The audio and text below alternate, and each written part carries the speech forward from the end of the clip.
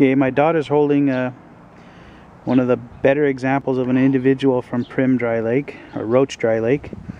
Uh, it's a strewn field my father found back in 97 and I found this sub subsequently. It was composed of three pieces which I glued back, that's why there's different little tags on it. However, it's missing one little portion, probably about six, seven grams, I'm estimating. And where's the cube? Okay, there's a centimeter scale, so you can see how big we're talking here. Turn it a little more. So you see that piece missing there? Other than that, if I could just get that, and I know lots of people have searched there before, or after, and somebody has probably walked away with my missing piece.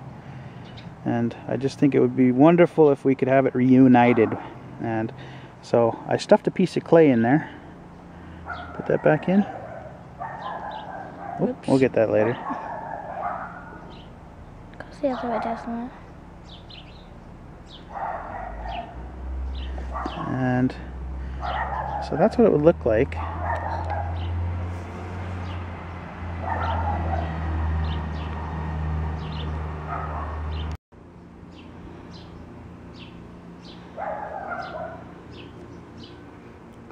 Yeah, there's the shape we're looking for. Somebody in their collection has, I'm sure, found this piece. And I'm sure it doesn't mean as much to you as it probably does to me to get this stone back to its entirety. So I'd be willing to do a trade. I'd trade you a, a bigger piece of Primm from our collection and also information on a, a wonderful, easy to search strewn field in Nevada that has at least four different types of meteorites ranging from like a W5 all the way to fell yesterday. And so that's that's what I offer for trade. If somebody has this piece please let me know. Let's oh, I dropped it again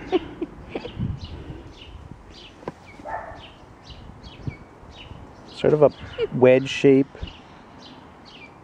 Should have this little bumpy corner on the fusion crushed, crushed, crust.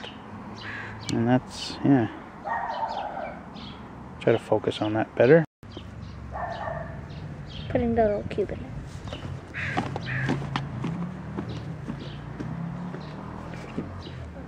Okay, that's what's missing.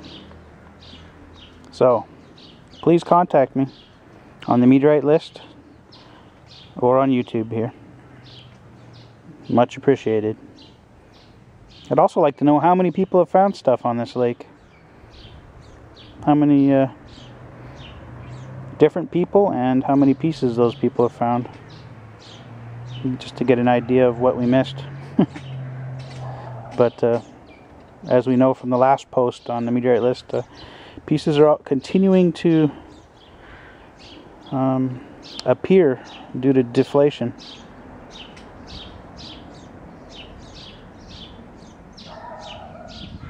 That's the interior side. And that would be the out crust there. Okay, let me know. Thanks.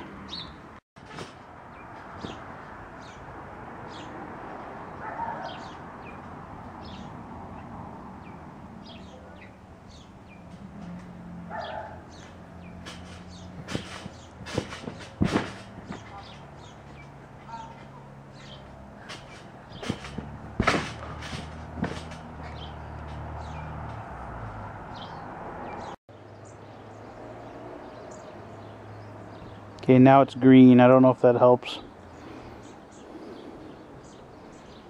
Or not.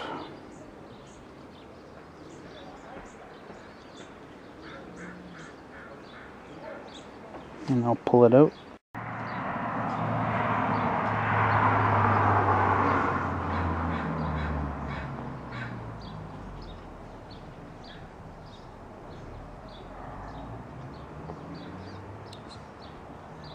Just to be sure you know, the green represents the fusion crust.